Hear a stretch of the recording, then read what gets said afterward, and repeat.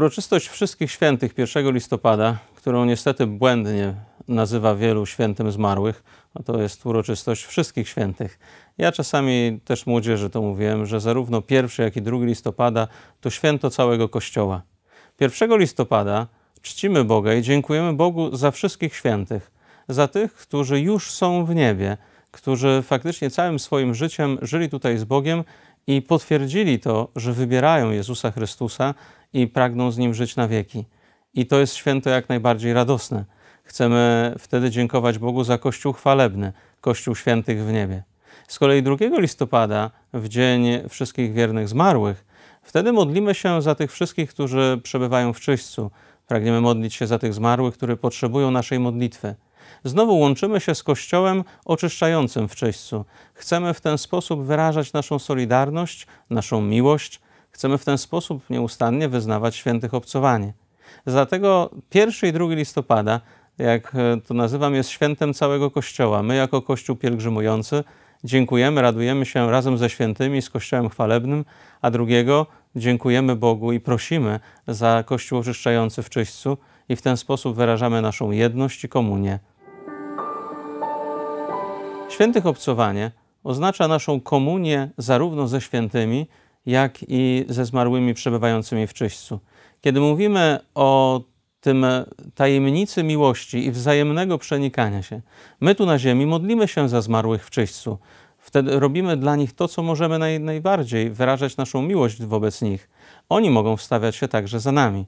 Z kolei święci wstawiają się zarówno za nami, jak i za zmarłymi w czyśćcu. I ta wzajemna wymiana darów, ona oznacza świętych obcowanie. Kiedy w każdą niedzielę w wyznaniu wiary wyznajemy, że wierzymy w świętych obcowanie, to wierzymy w tą wzajemną pomoc, kiedy my możemy sobie nawzajem wyświadczać miłość, my wobec zmarłych w czyśćcu, oni mogą wstawiać się za nami i święci, którzy wstawiają się zarówno za nami, jak i za tymi zmarłymi w czyśćcu. I ta przepiękna tajemnica miłości, ona oznacza świętych obcowanie. Czyściec powstał z miłości Pana Boga.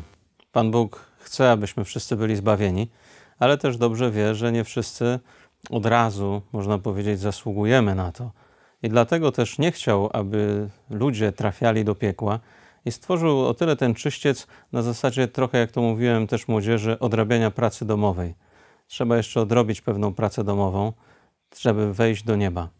Brzmi to może dość prosto. Oczywiście związane jest to z pewnymi jeszcze karami, także mękami tych dusz czyśćcowych, ale wyjście z czyśćca jest tylko jedno do nieba. I to jest chyba najpiękniejsza nadzieja, że ci, którzy już przebywają w czyśćcu, mogą iść tylko do życia wiecznego z Panem Bogiem.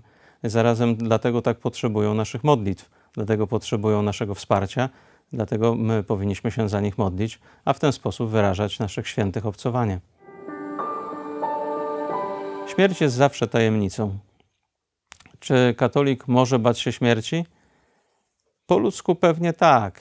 Każdy z nas boi się tego, czego do końca nie zna. Sam, kiedy kiedyś umierał na moich rękach pewien człowiek, także bardzo szybko myślałem o tym i też byłem trochę przerażony, że ta tajemnica śmierci jest tak blisko.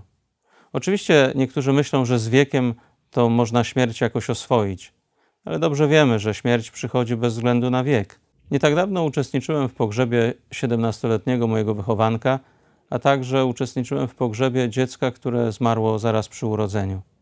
Nie da się powiedzieć, że z wiekiem śmierć staje się jakoś bliższa i mniej, jakby to wywołująca lęki. Śmierć jest tajemnicą, tajemnicą przejścia, dlatego że nie znamy do końca, jak będzie przebiegać ten moment. Ale to, co nam może jakby dawać nadzieję, to przede wszystkim to, że Jezus Chrystus pokonał śmierć. Kiedy patrzymy na krzyż Jezusa Chrystusa, to widzimy, że Jezus zmartwychwstał, że śmierć została pokonana, że kiedy umieramy, to przechodzimy ze śmierci do życia.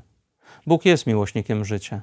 I wiele mam takich dowodów na to, że nawet kiedy ktoś z bliskich naszych tu umiera, to Pan Bóg jednocześnie wyraźnie pokazuje, że On jest miłośnikiem życia, że z tej śmierci wyprowadza życie też innych osób, dlatego że też ta osoba przechodzi do życia wiecznego. Dlatego po ludzku na pewno bać się będziemy, ale z drugiej strony ta nadzieja, nadzieja życia wiecznego i nadzieja tego, że Bóg pokonał śmierć, jest zawsze większa i dlatego możemy spokojnie też, na tyle na ile to możliwe, podchodzić z szacunkiem i z respektem do tej tajemnicy w ufności w Boże miłosierdzie.